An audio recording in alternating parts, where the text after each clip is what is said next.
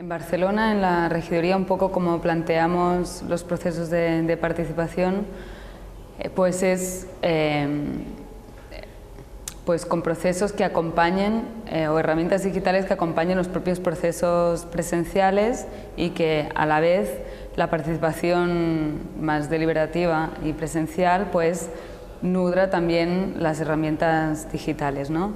En la regiduría, por ejemplo, hay tres direcciones eh, que una es mm, democracia activa, que es la que tendría pues, más los procesos participativos, digamos, más deliberativos y también los órganos de participación institucionales. Luego hay otra dirección que es acción comunitaria y que lleva todo el tema de equipamientos de proximidad al territorio, porque también entendemos que la participación eh, pasa en los territorios y que tiene que ver con la cotidianidad y después hay la tercera dirección, y que esta es nueva en, el ayuntamiento, y es la, dirección de innovación. Y esta es la que, sobre todo, eh, la que eh, se pensará y, creará estos instrumentos de, participación digital. Bueno, yo creo que utilidades muchas y que seguramente descubriremos algunas más durante, durante este tiempo. Pero, a ver, por un lado, eh, permite llegar a más, a, más personas, ¿no? a más ciudadanos que a lo mejor pues sí que participan de manera digital, pero no, no nunca a, un encuentro presencial.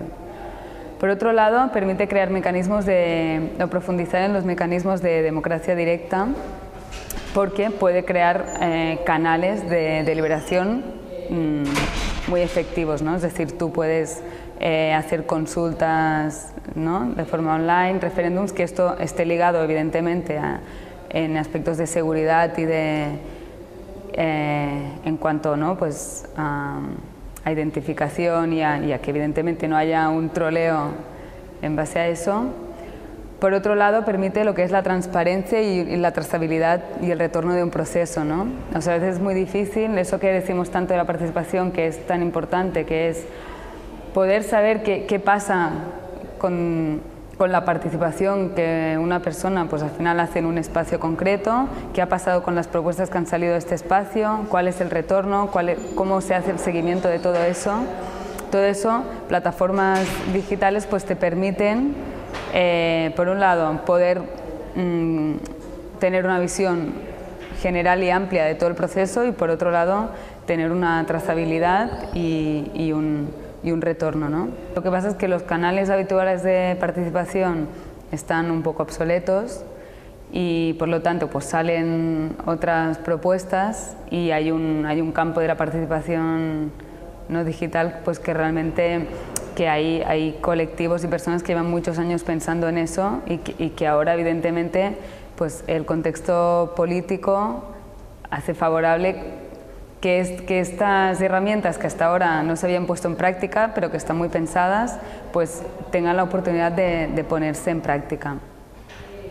En este sentido, también eh, tengo que decir que sí que como oportunidad, o eh, la creación de herramientas digitales sí que está generando, o sí que para mí es una de las herramientas o de los mecanismos que a día de hoy más vínculos generan entre ciudades y no solo por el hecho de la herramienta en sí, sino por el proceso de creación, que eso sí, sí que es lo que... Yo esto lo estoy aprendiendo también porque no vengo directamente de este, de este mundo, yo vengo más de la participación, si quieres, más presencial. Y sí que estoy aprendiendo que, por un lado, el, el método de elaboración de las plataformas digitales es un método abierto y colaborativo que creo que como metodología de trabajo puede implementarse, tan, o sea, puede implementarse en los propios procesos presenciales e incluso en la práctica, en la praxis política. Y eso está generando, esta forma de, de trabajo está generando que a nivel de red de ciudades sea uno de los de los mecanismos más eficaz eh, actualmente y que más eh, sinergias está, está produciendo entre, entre municipios.